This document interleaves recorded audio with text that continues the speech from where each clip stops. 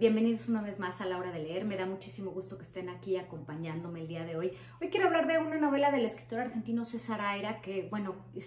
ha convertido en un referente en la literatura de este país y en la literatura latinoamericana. Esta novela de la que les estoy hablando se llama La Villa. Es una novela de 2001 y, bueno, acabo de terminarla de leerla y realmente me deja, eh, pues, un, sabor de boca de querer seguir leyendo a este autor. La verdad es que no soy tan experta en él ni conozco toda su obra, pero este acercamiento pues me dejó bastante contenta, a pesar de que el final para mí es un poco eh, ambiguo y precipitado en cuanto al personaje principal, pero bueno, ya les platicaré de esto eh, en un momento más. Ahora, ¿de qué va esta historia? Bueno, pues La Villa cuenta la historia eh, de precisamente un lugar, un barrio en Buenos Aires, em, que es el barrio Bajo Flores, y este grupo de gente que vive ahí en un lugar que se denomina La Villa, donde en realidad la función principal es la de ser cartoneros. En México les llamamos eh, pepenadores y bueno, es esta gente que se dedica a recolectar basura y a recolectar cartón y desperdicios para después venderlos en el reciclado.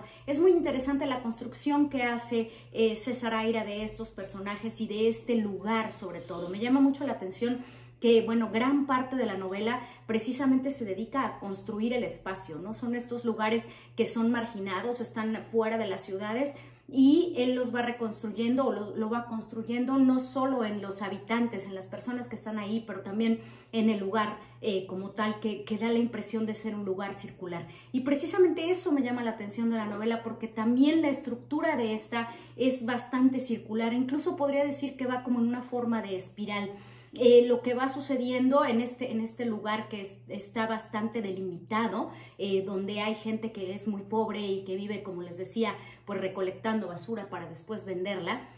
Eh, también la novela va así, va dando como círculos en cómo nos va contando las cosas,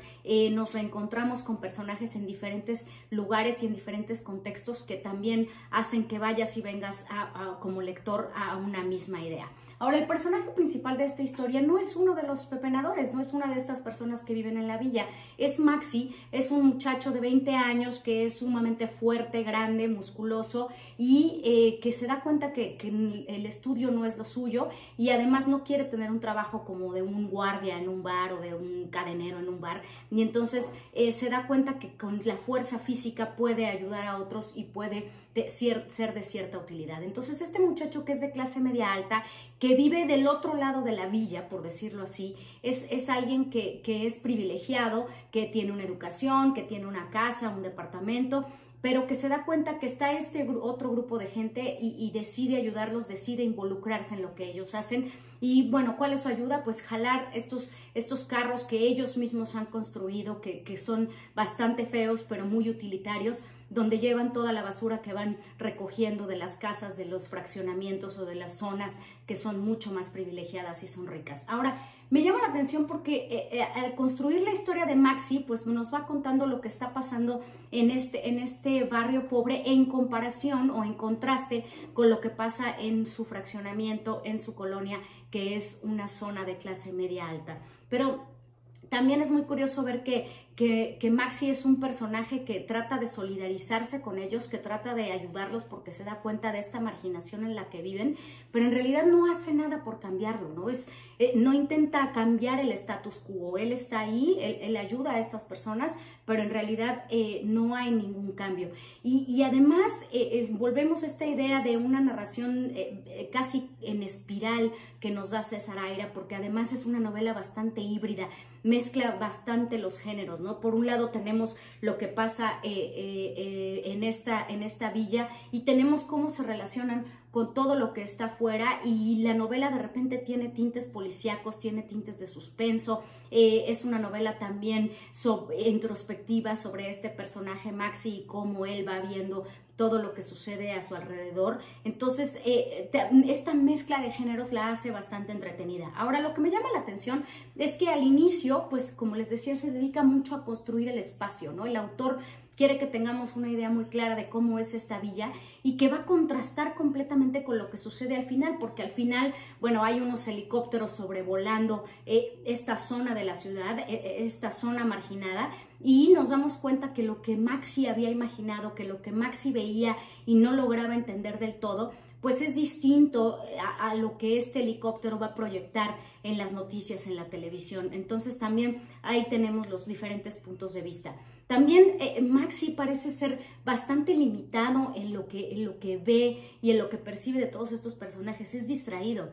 a lo largo de toda la novela nos están diciendo que él es muy distraído y es verdad, ¿no? Porque ni siquiera se percata, y uno como lector sí lo hace, de que está hablando con el mismo personaje en dos contextos diferentes, pero él no se da cuenta que son la misma persona. Entonces, esto es, un claro ejemplo y es una metáfora de cómo estas personas que viven de recolectar la basura para después venderla, hasta cierto punto son invisibles en las sociedades. Entonces, creo que esto es lo que hace muy bien eh, el autor, es algo que hace muy bien César Aira, porque, bueno, con la globalización y todo este capitalismo que llegó a Latinoamérica y que se instauró y, desarrolló grandes empresas, sobre todo eh, extranjeras, pues toda esta gente se volvió aún más invisible. En muchos momentos de la novela, eh, Maxi siente y percibe que nadie lo ve, que a nadie le importa, que nadie se da cuenta de que él sale en la madrugada para ayudar a estos cartoneros y, por, y también vemos otros personajes que, que, están involucrados en la trama que sí los están viendo, ¿no? La hermana de Maxi con su amiga,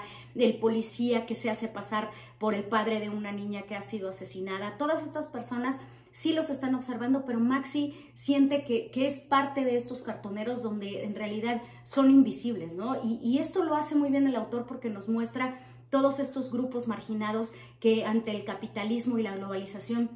se han vuelto totalmente invisibles para los gobiernos y para el sistema y para la sociedad, porque de cierta forma no pueden aportar económicamente a esta idea, a este plan económico que tienen los países latinoamericanos y bueno, muchos otros países, ¿no? Entonces es interesante ver cómo eh, esto que pasa en el barrio de Bajo Flores en Buenos Aires, pues puede transportarse a casi cualquier gran ciudad en Latinoamérica. Yo recuerdo cuando era niña, ¿no? El Valle de Chalco, que empezó a generarse y a crecer como un basurero y ahora, eh, muchos años después, es un gran concentrado demográfico, muchísima gente vive ahí, pero en realidad cruzas eh, esa parte de la ciudad sin ponerle mucha atención porque toda esta gente no pertenece a lo que llamaríamos la globalización. Entonces creo que esto lo hace muy bien y esa es la gran crítica que hace César Aira en esta novela. Él, él nos está diciendo que esta gente, como no participa del plan eh, de globalización y capitalismo, pues ni siquiera es tomada en cuenta, es invisible, no es considerada. Ahora, eh, no nada más es la historia de Maxi y de los cartoneros. En esta trama, pues se van involucrando como les decía, otros personajes y conforme vamos avanzando en la lectura descubrimos que, bueno, también hay una gran red de corrupción en estos contextos, ¿no? Eh, hay, hay, la venta de droga, de drogas sintéticas, están involucrados policías, ex policías, una jueza,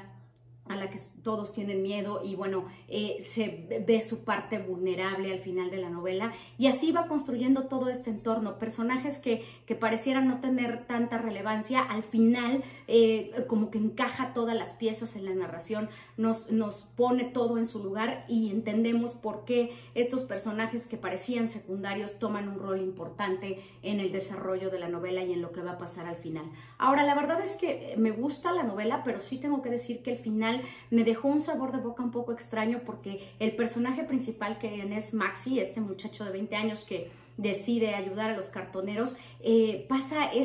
esta última parte de la novela durmiendo. Y, esto nos hace pensar que, bueno, eh, en realidad, como les decía, no va a hacer nada por cambiar el contexto, no va a hacer nada por cambiar a la sociedad, pero también eh, parece que el autor como que lo deja un poco de lado, lo pasa a segundo plano y los personajes secundarios son los que toman verdadera relevancia al final para darnos una fotografía de lo que pasa en estos barrios de Buenos Aires donde hay eh, corrupción y donde hay ambición, como puede suceder en cualquier otra gran ciudad de Latinoamérica. Entonces, eh, es una novela que es bastante rápida de leer, entretenida que va en esta estructura, como les decía, en espiral, regresas a ciertos momentos, incluso eh, está muy ligada con lo que pasa y cómo está construida la villa en sí, este lugar donde la gente es muy pobre, pero parece ser muy solidaria una con otra. Y eso es lo que tiene, entretenida, este suspenso donde quieres saber cuál es el misterio y si alguien va a descubrir eh, lo que está haciendo Maxi con, con, estos cartoneros. Entonces, bueno, pues espero que se animen a leer esta eh, novela corta que se llama La Villa de César Aira, que le den like a este video y nos vemos la próxima en La Hora de Leer.